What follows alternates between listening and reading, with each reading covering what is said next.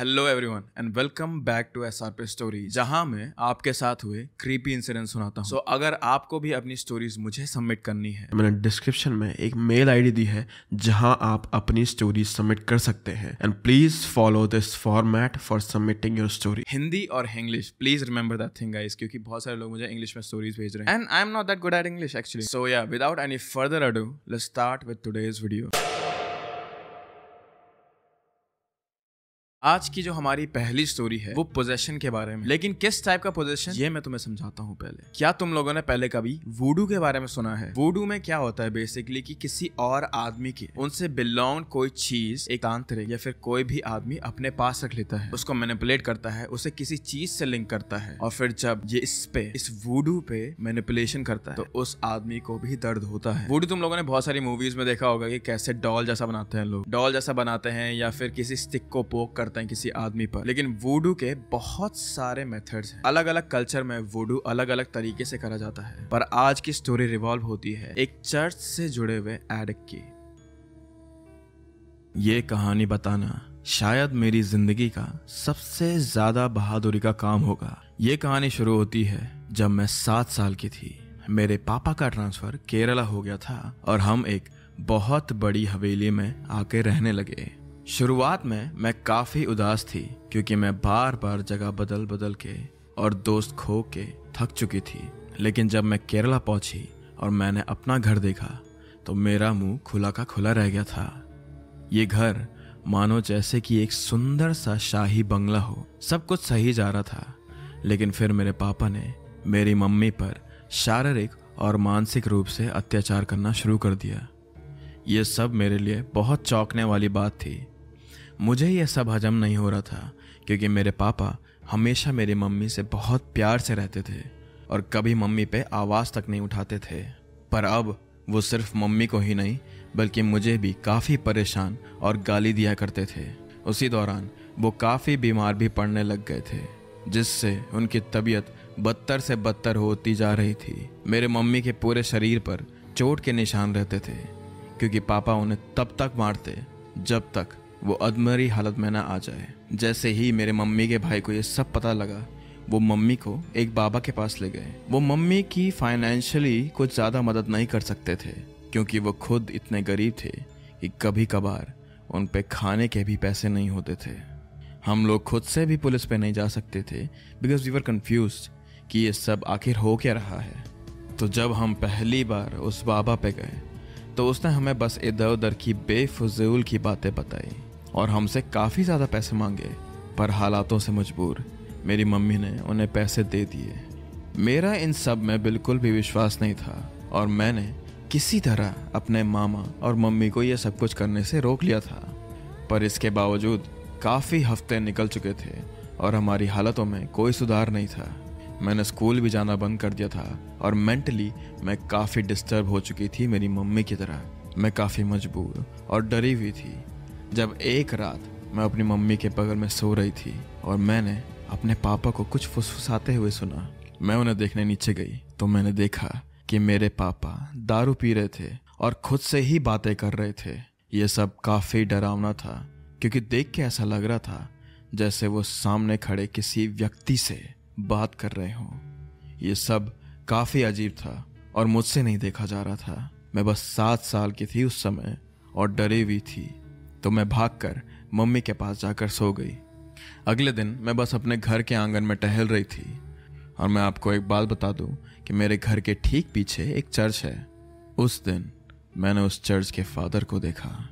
उन्होंने मुझे अपने पास बुलाया और ये सब कुछ काफ़ी अजीब था क्योंकि मैंने उस दिन से पहले कभी भी इन फादर को वहाँ नहीं देखा था। मैं किसी तरह से उनके पास गई और उन्होंने मुझसे काफ़ी नॉर्मल वे में बात करी। जैसे एक बड़ा आदमी एक छोटे बच्चे से करता है। बातों बातों में हम मेरे घर के गार्डन में बैठ गए और मैंने प्लीडिंग हालत में उन्हें सब कुछ बता दिया।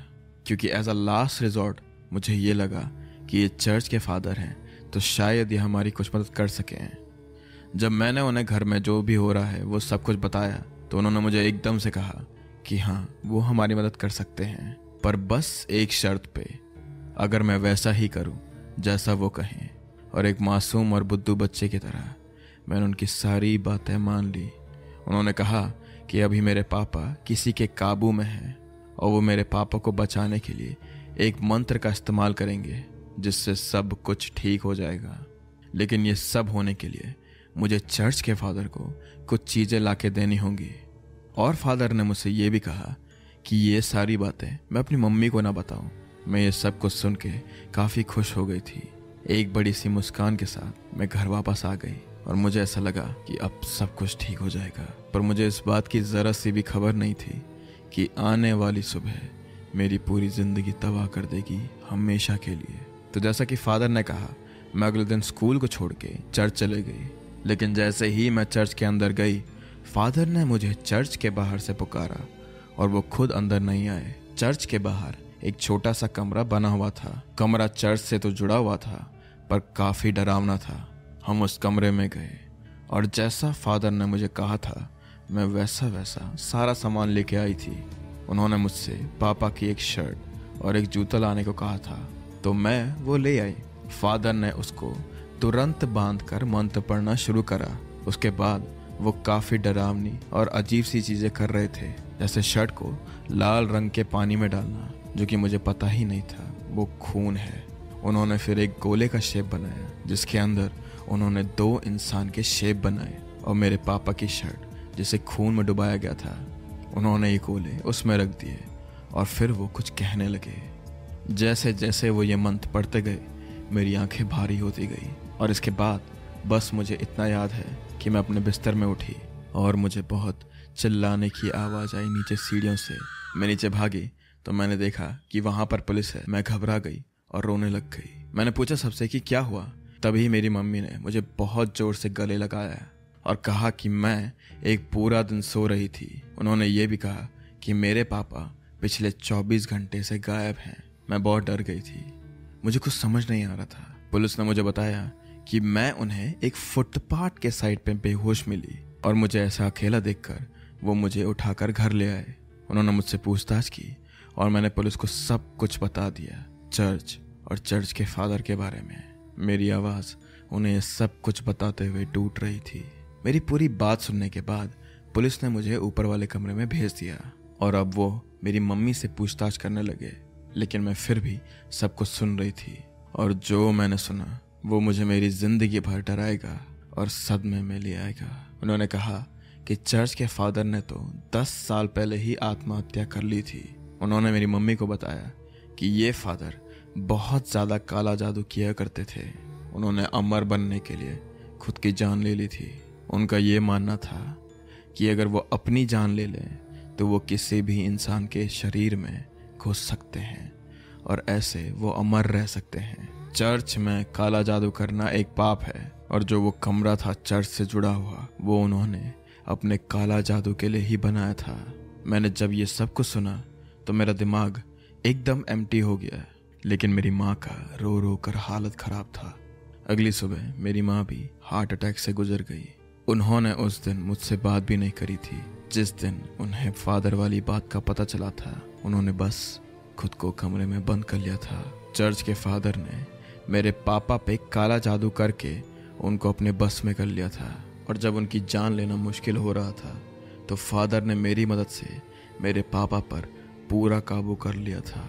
ये सब कुछ उनका एक प्लान था। तब मुझे ये समझ आया आई वॉज़ द रीज़न ये सब कुछ मेरी वजह से हुआ था। मैं आज 21 साल की हूँ। मैं केरला में एक नर्स के तौर पे काम करती हूँ। और मैं आज भी उसी घर में रहती हूँ। कभी कभार मुझे घर में किसी के चलने की आवाज़ें आती हैं, लेकिन अब मुझे इसकी आदत हो चुकी है। शौक की बात यह है कि इतना सब कुछ होने के बाद भी मेरा मेंटल स्टेट अभी भी इंटैक्ट है। मुझे आज भी अपने माँ पापा की याद आती है और मैं आज भी अपने आप को इन सब चीज़ों के लिए कोसती हूँ। दिल्ली में कहीं सारे लोग हर महीने मूव इन करते हैं। Maybe it is for education purposes या फिर जॉब के लिए भी हो सकते हैं या फिर किसी और रीजन की वजह से भी। बट या इट इज़ ट्रू कि दिल्ली, मुंबई, जितनी भी ये मेट्रो सिटीज़ हैं, वहाँ लोग हर महीने कहीं सारी तादाद में मूव इन करते हैं। एंड इन सिटी की पुलिस ये ट्राई करती है कि वहाँ के लोगों को सेफ़ फील हो। Be it on the road या फिर कभी उनके साथ कुछ हो जाए, पुलिस हमेशा इन लोगों के लिए तैनात है। I mean that is their work but ये ऐप की दुनिया इस ऐप की दुनिया में, इस टेक्नोलॉजी की दुनिया में, जहाँ तुम्हारे फिंगर टिप्स पे तुम्हारा खाना है, तुम्हारे फिंगर टिप्स पे तुम्हारी नेक्स्ट फ़्लाइट है तुम्हारे फिंगर टिप्स पे तुम्हारी कार राइड है। उसमें तुम्हें कितनी सिक्योरिटी मिलेगी और कब तक? हर ऐप तुम्हारी हंड्रेड परसेंट सिक्योरिटी की गारंटी नहीं देता एंड ऐसा ही कुछ इस सेकंड स्टोरी में भी हुआ। ये लड़की एक नॉर्मल ऊबर राइड से घर जा रही थी लेकिन उसे ये नहीं पता कि उसके साथ इस ऊबर राइड में क्या होने वाला है।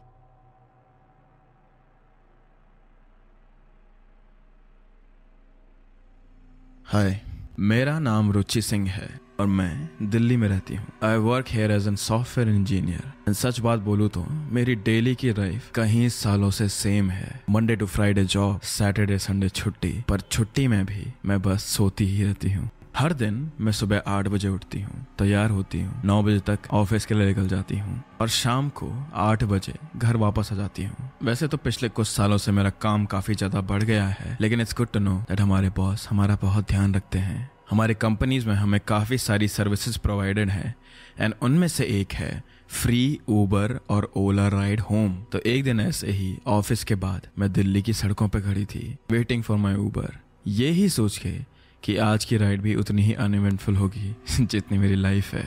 But as soon as that Uber guy called me I knew something was wrong ये एक मिडिल एज आदमी था, जिसके राइट गाल पर एक छोटा सा पैच था। वैसे तो ऊबर में बैठने से पहले मैंने ये नोटिस नहीं करा, पर जब गाड़ी कुछ पाँच मिनट के लिए चली then I saw that bruise on his cheek again हर दिन की तरह मैंने एयरफोन पहने थे और मैं खिड़की की साइड पे लीन होकर सिटी को देख रही थी। I have seen Delhi so many time now but still हर एक दिन मुझे ऐसा लगता है, कुछ नया देखने के लिए मिल रहा है। हमारी गाड़ी कुछ दस मिनट ही चली थी एंड मेरे घर पहुँचने में हमें आधा घंटा लगता है। तभी ही स्टॉप द कार उसने मुझसे पूछा, मैम, क्या मैं यहाँ पाँच मिनट रुक सकता हूँ? तो पहले तो मैंने सुना नहीं, पर फिर एयरफोन निकालने के बाद ही shouted at me as if वो मुझे इस ड्राइव के पैसे दे रहा था। पर मैं थकी हुई थी and I didn't no want mess anything up तो मैंने उसे कहा कि हाँ आप रुक सकते हो। वो गाड़ी से उतरा। पाँच नहीं, बल्कि दस मिनट के लिए कहीं बाहर गया और जब वो वापस आया तो मैंने ये नोटिस करा कि उसकी शर्ट चेंज हो चुकी थी। What a weird thing to do भला दस मिनट, क्या वो शर्ट चेंज करने गया था? But then again I did not mind it and मैं दोबारा से गाने सुनने लगी। हमारी गाड़ी आगे बढ़ रही थी and again I was looking out the window पर तभी मैंने नोटिस करा कि अरे, ये तो रॉन्ग टर्न है। This is not my usual place मैंने ये रास्ता पहले नहीं देखा है। गाड़ी दोबारा आगे बढ़ी। तो अब हम एक नैरो पाथवे में आ चुके थे जहाँ पे पीली स्ट्रीट लाइट्स थी। Being an introvert I did not ask him much मुझे ये लगा कि शायद से कोई शॉर्टकट होगा मेरे घर के लिए।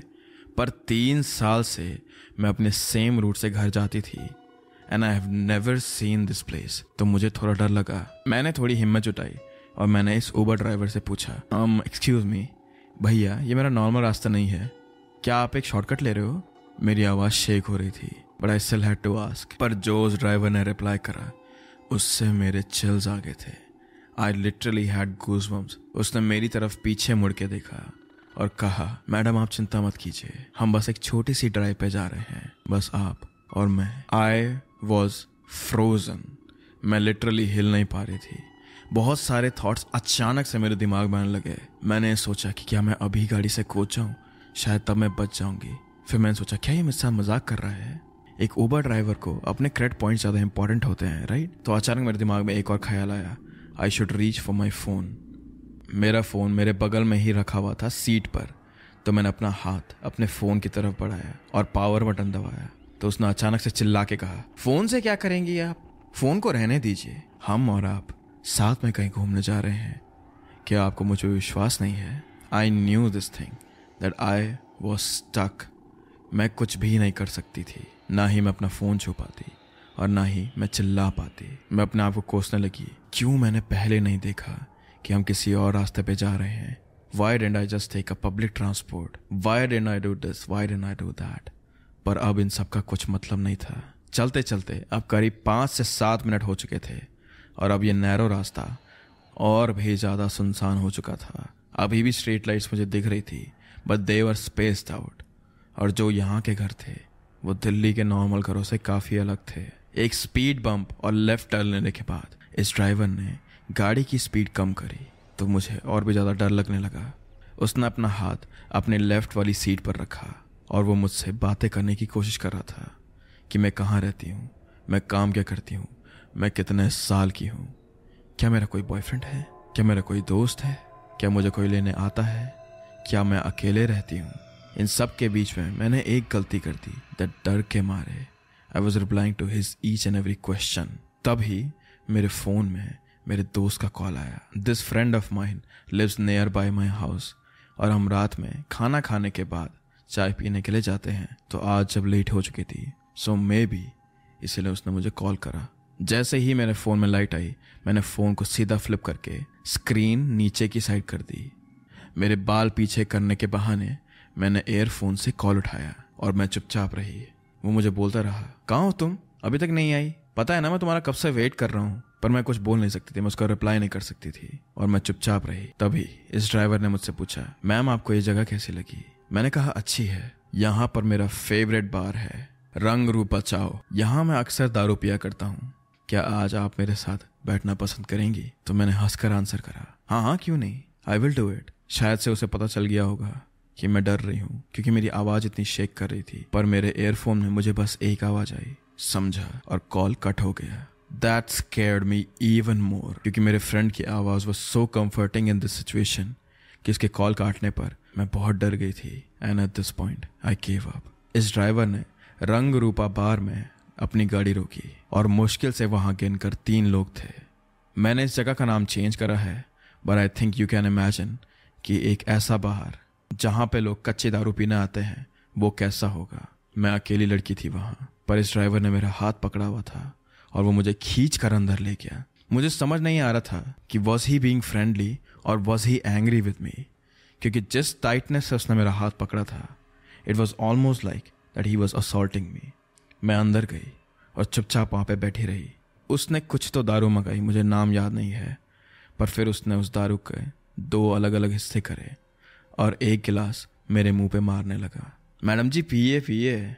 ऐसी शराब आपको दिल्ली के महँगे से महँगे क्लबों में नहीं मिलेगी। I was just smiling but at that moment I heard that voice मुझे पुलिस की गाड़ी की आवाज़ आई, और अब ये ड्राइवर एकदम ही दंग रह गया था। But he did not lose his काम उसने जो ग्लास मेरे मुँह की साइड करा था, उसे नीचे रखा और शराब पीने लगा। पुलिस वहाँ अंदर आई और चिल्ला के मेरा नाम लेने लगी। तो उसने मुझसे कहा अच्छा मैडम। इसका मतलब आपने मुझे अपना नाम गलत बताया था। And at that moment my friend saw me and police caught this लोग शायद नहीं समझते हैं how much we trust our drivers but seriously this event this accident this incident change my life मैं कभी भी अब इन ऐप्स को सेम तरीके से नहीं देख पाती हूँ। And even though I still use Uber Ola and other apps I am always in a fear I am traumatized thank you so much for watching this video guys again अगर आपको अपनी stories मुझे submit करनी है then there is an email in my description with that out of the way thank you so much for watching this video and I will hopefully see you next time bye bye